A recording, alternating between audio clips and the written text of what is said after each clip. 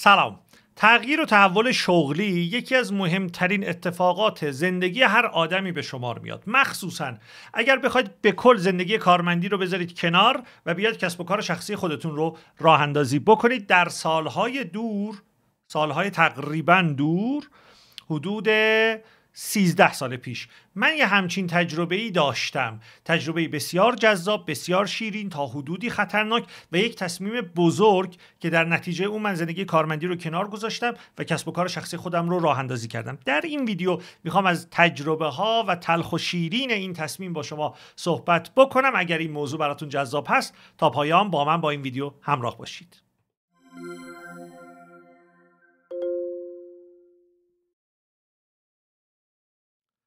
وقت بخیر دوستان جان همراهان گرامی. امیدوارم حال همگی خوب خوب باشه. من آیدین نامدار هستم. اینجا یک پله بالاتر هست. من در یک پله بالاتر در حوزه رشد فردی و بهبود سبک زندگی با شما صحبت می‌کنم. اگر به این موضوعات علاقمند هستید و هنوز این کانال رو subscribe نکردید دکمه subscribe رو بزنید. کنارش دکمه زنگوله هم در حالت all قرار بدید تا وقتی یوتیوب تا وقتی من ویدیوی جدید منتشر می‌کنم یوتیوب شما رو باخبر بکنه.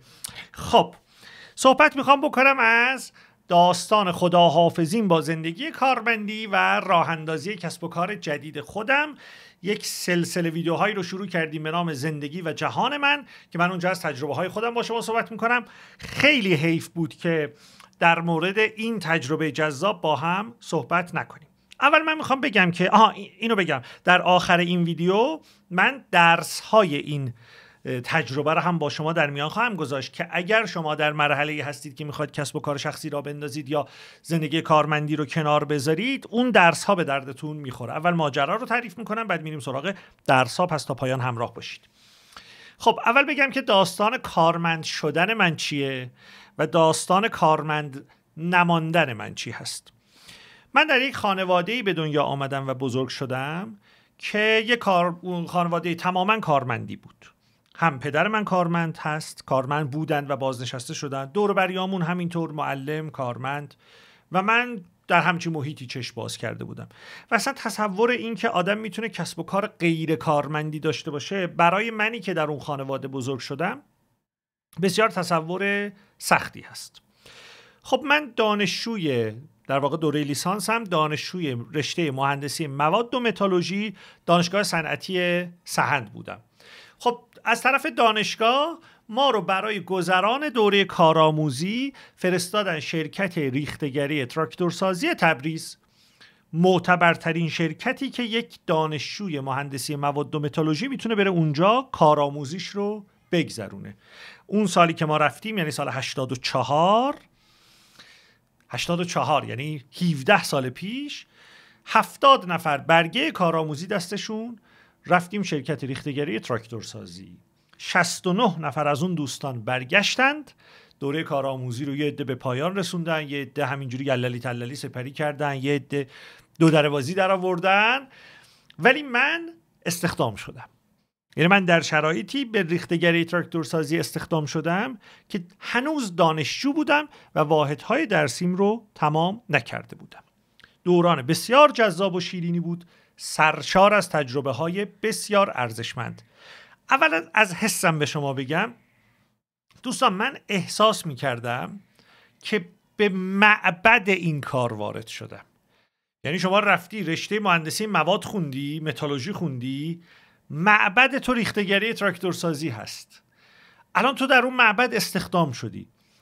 من ماهای اول حتی می‌تونم بگم سال اول بسیار هیجان زده بودم بسیار خوشحال بودم بسیار افتخار می‌کردم. اصلا تو دانشکده سرم و بالا می‌گرفتم راه می‌رفتم که من کارمند ریختگری تراکتور سازی هم از جا پول می‌گیرم بیمه برام رد می‌کنم و الاخر ماهای بعد از اون و حتی می‌تونم بگم که یه سالهای بعد این هیجان فروکش کرد.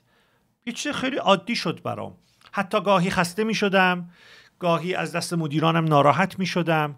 گاهی تداخل می‌کرد با امتحاناتم تداخل می‌کرد با درسام برنامه دانشگاهیم و رفته رفته نارضایتی در من ایجاد شد. اینو بگم ها این خاصیت بشری هست. وقتی به یه چیزی دست پیدا نکرده حاضر جونش رو براش بده. بعد که رفت رسید به اون هدفش هدف براش تکراری میشه. حواستون به این خاصیت و به این حقیقت روح و روان و ذهن بشر باشه دوستان. قشنگ یادم هست که من دانشجوی ترم آخر ترم 6 بودم. ببخشید من دانشجوی ترم 6 بودم. در زمستان سرد و سخت تبریز ساعت 6 بعد از ظهر از سرویس پیاده می شدم. کل مسیر کارخونه رو پیاده می رفتم تا کارت بزنم با سرویس ساعت دوازده برگردم و اینها من رو خسته می کرد. آمدیم رسیدیم به جایی که من چهار سال و نیم نزدیک پنج سال اونجا کار کرده بودم. خیلی به جاهای خوبی رسیده بودم. ریشه دوونده بودم آدمی بودم با توان برقراری ارتباط خوب دوستان خیلی خوب همکاران خیلی خوب بین تیم مدیریتی اصلا اعتباری برای خودم کسب کرده بودم. مستقیم با مدیرعامل کار می‌کردم اون موقع. کارهای مهم کارهای جدی شیش شماره نشریه منتشر کردم. یک همایش ملی اونجا من برگزار کردم به کمک یکی از دوستان. همه چیز داشت خیلی خوب پیش می‌رفت. تا اینکه من احساس کردم که ببین درست همه چیز داره خوب پیش میره. ولی من آدم اینجا نیستم. من نمی‌تونم اینجا پرباز بکنم. خیلی ایده داشتم. خی... اصلا از همین جنس ایده هایی که شما از من آیدین نامدار سراغ دارید از همون سالها تو ذهنم بود. ولی همش به در بسته می‌خورد. یعنی همش وتو می‌شد. اصلا مدیران درکی از حرفهای من نداشتن. و این باعث شد که من به خودم بگم که آقا اینجا یه دوراهی هست. تو یا بال پرت رو میشکنی سر تو میندازی پایین زندگی کارمندی تو می‌کنی هیچ بدی هم نداره در پدرم دیده بودم. یا اگر می‌خوای بال بزنی و پر در بیاری اینجا جاش نیست و یک فکری باید برای خودت بکنی. بسیار تصمیم سختی هست. کسانی که الان در این لحظه سر این دوراهی هستن می‌دونن من چی میگم و اونهایی که به این دوراهی رو گذروندن خیلی خوب می‌دونن من چی میگم. حالا به همه این داستان ها شما این رو هم اضافه بکنید که در اون دوران در حال گذران دوره آشنایی با همسر گرامی هستیم و من دارم اصلا وارد یک انقلاب دیگری در زندگیم هم میشم. یعنی هم می‌خوام کارم رو عوض بکنم کسب و کار شخصیم رو راه اندازی بکنم و هم می‌خوام ازدواج بکنم. تداخل این دوتا خیلی ترسناکه ها دوستان. تداخل این دوتا واقعا وحشتناک هست. ولی خب خدا رو هزار مرتبه شکر که دلم قرص بود. اون الهامی که در درونم شکل گرفته بود خیلی محکم بود. اون حسی که به من می‌گفت تو به اینجا تعلق نداری خیلی خیلی حس قوی بود. و من خب به تب بدیهی دیگه آدم وقتی می‌خواد همچین تصمیمی رو بگیره شروع می‌کنه به مشورت کردن. من با سه گروه مشورت کردم. یه گروه دوستانی بودن که تو خود اون کارخونه داشتن کار می‌کردن. از کم سابقش بگیرید تا پر سابقش. ما اونجا دوستی داشتیم که 17 18 سال بود که هفته دو سه بار دنبال مغازه میگشت که آقا من من می‌خوام از اینجا در بیام برم مغازه خودم رو باز بکنم. و هنوز اونجا بود. و اصلا موند و بازنشسته شد و الاخر این گروه نتونستن به من کمکی بکنن. چرا؟ چون باز در یک محدوده داشتن زندگی می‌کردن. دوستانی که در فضای صنعت کار کردن در کارخونه کار کردن در جای بزرگ کار کردن می‌دونن. اونجا خیلی جای محدودی هست. یک الگوهای زیستی خاص خودش رو داره بسیار محدود و آدمی مثل من که می‌خواد دنیای بزرگتری رو تجربه بکنه اصلا نمی‌تونه اونجا موفق بشه. خب این آدم ها متعلق به اون دنیا بودن و نتونستن منو راهنمایی بکنن. گروه دوم دوستانی بودند که کسب و کار شخصی خودشون رو راه انداخته بودند یعنی این راه رو رفته بودند. اونها بسیار به من کمک کردند.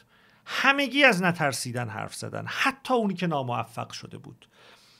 اکثر اونها به من می‌گفتن که آقا ببین حتی اگر ناموفق هستم حتی اگر پول زیاد ندارم حتی اگر سختی دارم تجربه می‌کنم در زندگیم ولی یه راحتی دارم یک آزادی دارم. و گروه سوم هم اعضای خانواده و فامیل و نزدیکان و دوستان بودن. از اعضای خانواده من فیدبک های بدی دریافت کردم. همه بزرگانی که دور برم بودند دایی امو شوهرمه شوهرخاله و همه این آدم ها حالا خانم ها ها کذا همگی به من گفتن که آقا تو اشتباه می‌کنی. می‌دونی کیا پشت اون در وایستادن که تو بری بیرون برن جا تو بگیرن؟ تو فکر می‌کنی بیرون ریختن؟ فکر می‌کنی چه خبره؟ چرا فکر می‌کنی می‌تونی موفق باشی؟ همش اینجوری حرفای معیوس کننده به من می‌زدند. در این بین دو نفر دو نفر به من خیلی دلگرمی دادند خیلی دلگرمی دادند که من تا عمر دارم مدیون دلگرمی این دو نفر هستم. یک در کمال ناباوری پدرم. خب همه پدران دوست دارن که موفقیت فرزندشون رو ببینن. در این اصلا شکی نیست. اغلب پدران مخصوصا اونها که خودشون زندگی کارمندی تجربه کردن محافظ کار هستن. با خودش میگه آیا آب باریکی داره میاد از این برای می‌خواد ازدواج بکنه می‌خواد تشکیل خانواده بده. این فردا روز رفت نان شب رو هم نتونست پیدا بکنه. خب من چیکار بکنم؟ پدر ما این فکر رو نکرد دوستان. و این فوق العاده اهمیت داشت. روزی از روزها من باش صحبت کردم و گفتم که بابا جان من همچین تصمیمی گرفتم. در کمال ناباوری من گفت به نظر من بهترین تصمیم رو گرفتی. خیلی تصمیم خوبی گرفتی. گفت منو جل چشت ببین سی سال بعد در بهترین حالت در اوج موفقیت میشی من. تو آدم توانمندی هستی و می‌تونی موفق بشی. بسیار پشتگرمی گرفته بودم و نفر دومی که به من دلگرمی داد همسرم المیرای عزیز. ما اون موقع در شرف ازدواج بودیم. شاید کسی دیگری جای ایشون بود.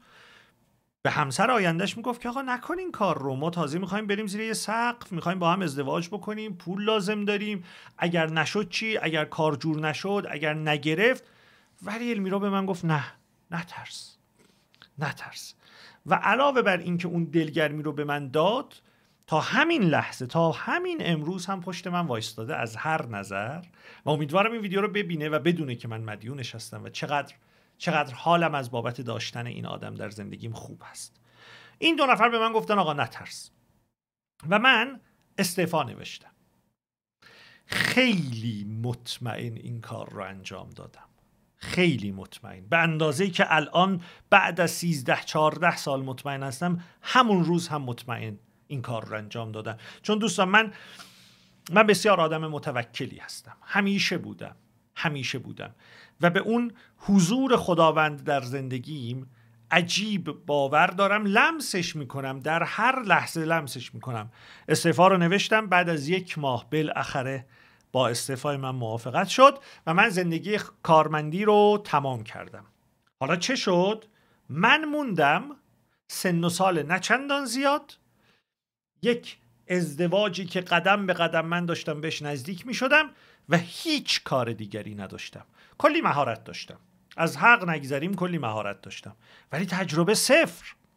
جهانبینی کار آزاد و کار مستقل صفر. همیشه کارمند بودم. کارمند فکر کردم کارمند زندگی کردم حقوق بگیرانه فکر کردم. الان می‌خوام کسب و کار شخصی خودم رو راه اندازی بکنم. من یک کار خیلی خیلی هوشمندانه انجام دادم.